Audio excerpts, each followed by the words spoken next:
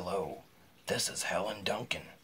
She was a medium that lived between 1897 and 1956. She was the final person to be imprisoned under the Witchcraft Act of 1735. This happened in 1944.